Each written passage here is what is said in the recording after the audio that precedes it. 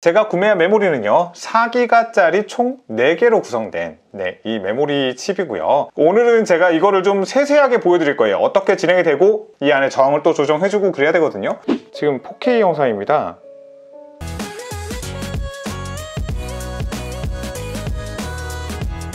안녕하세요. 꼬마시말입니다 오늘은 여러분 맥북의 메모리 업그레이드를 한번 진행을 해보겠습니다. 2010년 초반대에 나왔던 모델들은 이런 형태의 메모리를 교체해서 업그레이드를 할 수가 있었거든요. 하지만 2010년 중후반대로 넘어오면서 이제 모든 메모리가 메인보드에 장착이 돼서 나오기 시작했습니다. 제가 지금 가지고 있는 모델도 지금 보면 2015년 모델이거든요.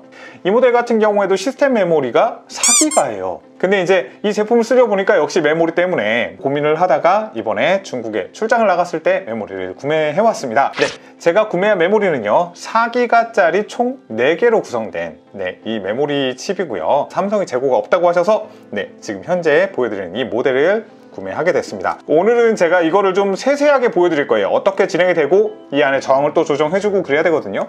뭐 그런 과정을 세세하게 설명을 드릴 텐데 안타깝지만 제가 이 서비스를 여러분께 제공하지는 않아요. 근데 꼭 이렇게 영상을 찍으면 얼마면 해주시나요? 라고 제 글에 댓글을 남기시는 분들이 있는데 제가 오늘은 이 메모리를 판매하시는 분의 판매 링크 어, 안타깝지만 이번에도 타오바오입니다. 이 링크는 남겨드릴게요. 그러면 필요하신 분이 직접 구매를 하셔서 근처에서 어느 정도 이 작업을 할 수 있는 분께 의뢰를 하셔서 작업을 진행하시면 되는 거고 제가 따로 서비스를 제공하지는 않습니다 그럼 먼저 분해를 해서 메인보드를 꺼낸 다음에 작업을 진행을 해보도록 하겠습니다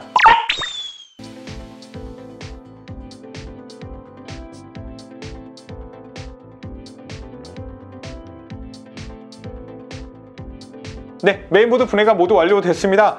이쪽에 이제 CPU 그리고 이제 이쪽에 보면 뒷면에 4개 붙어있는 요 칩셋. 이게 우리가 보고 있는 메모리입니다. 현재 장착되어 있는 메모리는 한 개당 1기가짜리. 그렇기 때문에 총 4개니까 4기가 네, 4기가 메모리라고 보시면 될 거고요. 그리고 이 제품은 그래도 다행인 게 이렇게 SSD를 분리교체할 수 있는 타입으로 되어 있기 때문에 SSD는 업그레이드 하는데 크게 어렵지 않을 것 같습니다. 하지만 최근에 나오는 모델들도 이 메모리와 마찬가지로 이 메인보드에 직접 장착이 되어 있는 형태로 나오기 때문에 동일한 방법으로 업그레이드는 할 수 있어요. 주변에 다른 BGA 칩셋들이 있잖아요. 이제 이런 게 열에 의해서 같이 손상이 된다거나 아니면 뭐 변형이 올 수 있기 때문에 방열 테이프, 어, 열 차단 테이프를 이용을 해서 먼저 주변에 있는 소자들을 잘 보호를 해놓고 작업을 시작을 하겠습니다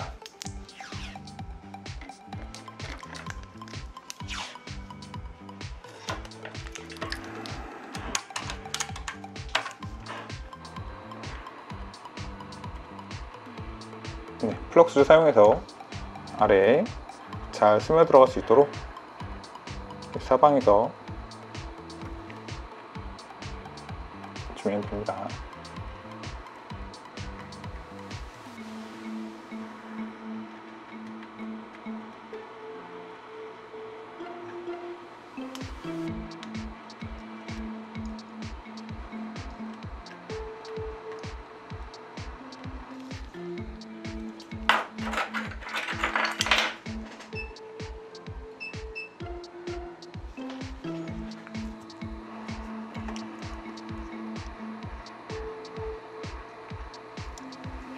기존에는 하이닉스 메모리가 붙어 있었네요.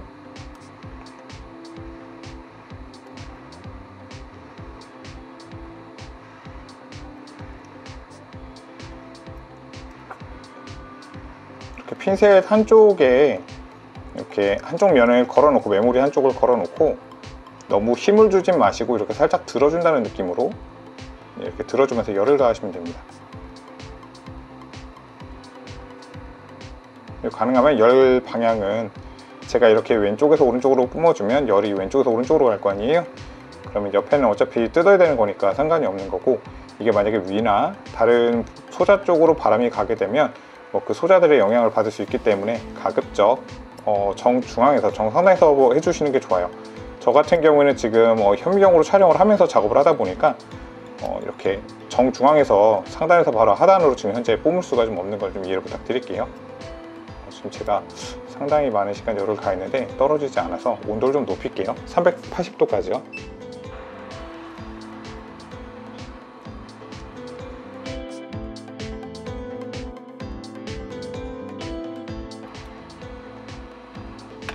네, 기존에 있던 하이넥스 메모리 4개가 모두 분해가 됐습니다. 어, 기존에 남아있던 납을 좀 제거할게요. 네, 기존에 남아있는 납은 고온 납이에요. 그렇기 때문에 어, 인두로 먼저 저온 납을 좀 묻혀서 솔더액으로 닦아내도록 하겠습니다. 네, 이런 식으로 묻혀가면서 작업을 하는데 조심하실 점은 너무 힘을 줘서 긁으시면 안 된다는 점. 그 다음에 이 작업 과정에서 뭐 옆에 있는 소자들에 닿으면 그쪽으로 납이 묻어나니까 그런 것만 좀 조심하면 될 것 같습니다. 자, 제 영상을 많이 보신 분들이라면 아시겠지만 어, 굉장히 부품들의 간격이 충분히 넉넉하게 떨어져 있다 보니까 모바일에 비교하면 이건 진짜 아무것도 아니에요.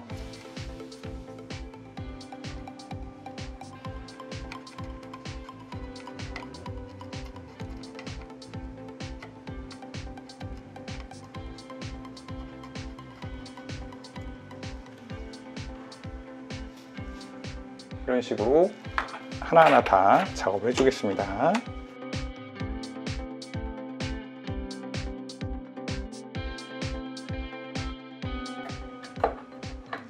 네, 세척제로 잘 닦아주겠습니다.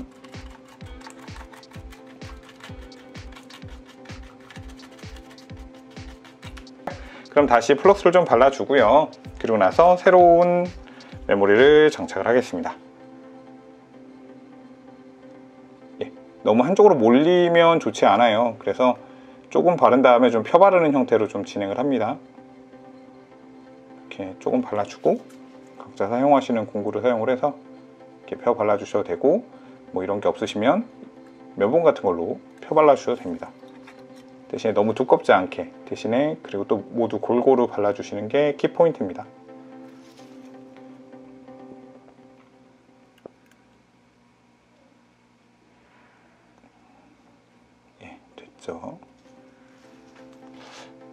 하나하나 붙일게요. 일부러 하나하나 좀 붙여보겠습니다.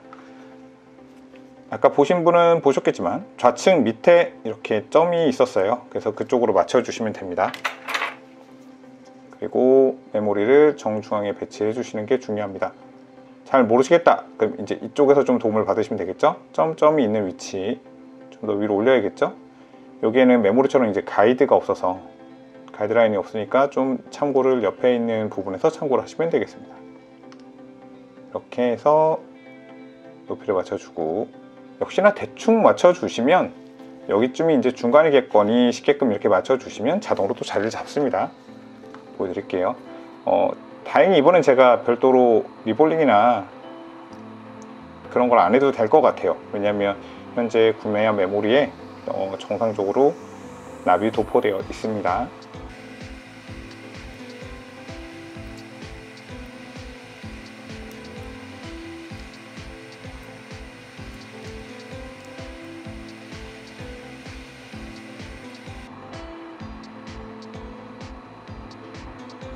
방금 살짝 움직이는 거 보셨나 모르겠어요. 이제 건드려 보면 보이세요? 장력이 생겼죠? 갔다가 다시 돌아오죠? 네, 이러면 정상적으로 장착이 된 겁니다. 자, 그럼 바로 두 번째 거.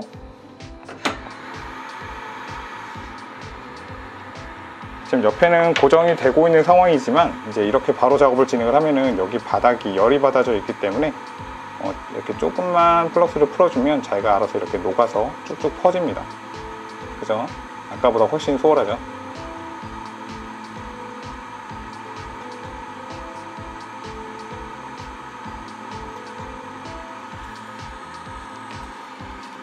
이제 마찬가지로 우측에 있는 메모리의 높이를 참고하셔서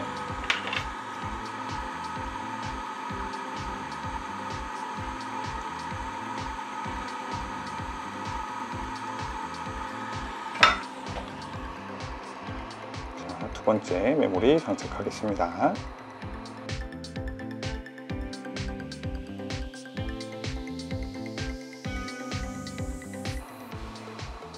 네, 잘 잡았습니다. 움직이죠? 완료.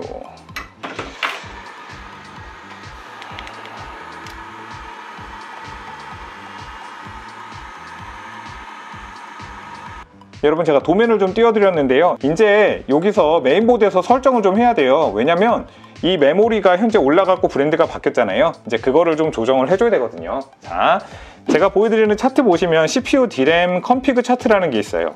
여기 보시면 어, CFG 0123 역으로 좀 읽어드렸죠. 예, 거기에 보시면 현재 하이닉스, 삼성, 마이크론, LP다 이렇게 되어 있는데요. 기존에 있는 건 하이닉스였으니까 0번과 1번은 0인 거고요. 그러니까 아무것도 장착되어 있지 않은 거고요. 그 다음에 여기 2번, 3번은 4기가로 되어 있던가 RSVD 둘 중에 하나일 거예요. 그래서 다 채워져 있던가 다 비어 있던가 둘 중에 하나일 겁니다. 다음 차트를 보시면요. 여러분 R1631, R1636, R1635, R1611이라고 되어 있는 거 보이시죠? 이걸 이렇게 따라가 보시면 이게 이제 저항이거든요, 여러분. 이렇게 VVVV 되어 있는 게 저항인데 R1612를 따라가 보시면 0번, R1635를 따라가 보면 1번, R1636은 2번, R1631은 3번으로 되어 있습니다. 자, 그러면 현재 U8180이라고 되어 있는 거 위에 이렇게 보시면 여기 잘 보시면 R1611이 보입니다. 현재 R1611은 비어 있죠. 그리고 요 위에 있는 요 두 개가 R1636이고요. 얘는 R1635번입니다. 1635는 비어 있고 1636은 채워져 있고 자, 그 다음에 R1611은 여기 있습니다. 네, 채워져 있죠. 이게 걸려 있으면 1번, 빠져 있으면 0번입니다. 자, 그렇게 순서를 따지시면 되는 거고요. 그럼 이제 저희가 순서대로 어떻게 맞춰야 되냐면 LP다니까 0번과 1번에 각각 저항을 붙이고요. 그 다음에 2번과 3번, 2번은 비우고 3번은 정을 하나 채워주면 됩니다. 그러면 저희가 이제 LP다 16기가라고 세팅이 완료가 되겠죠. 그럼 이걸 한번 옮겨보겠습니다.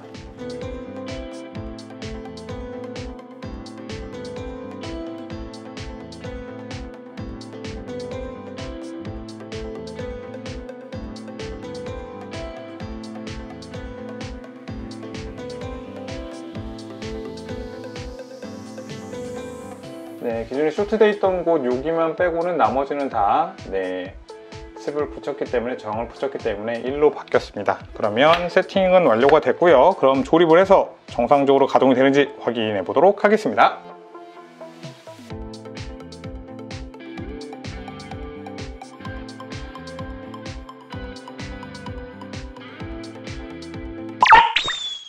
작업이 모두 완료가 됐습니다. 그러면 저희 컴퓨터를 한번 켜서 현재 시스템 사양이 어떻게 바뀌었는지 한번 확인해 보고요.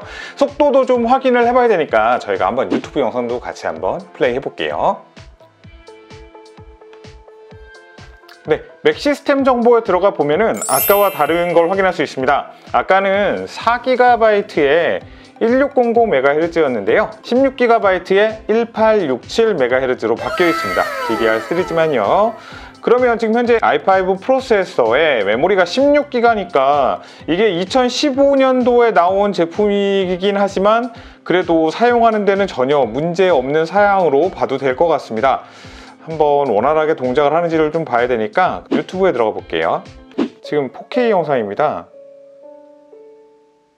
뭐 이렇게 오 완전 끊김이 없다까지는 아니겠지만 그래도 원활하게 돌아가는 걸 확인할 수가 있어요. 지금 와이파이로 되어 있는데 저희 좀 공유기가 여기서부터 거리가 있거든요. 그래도 상당히 잘 나오는 것 같아요. 그러면 4K 말고 네, 이건 완전 렉이 없이 나오네요.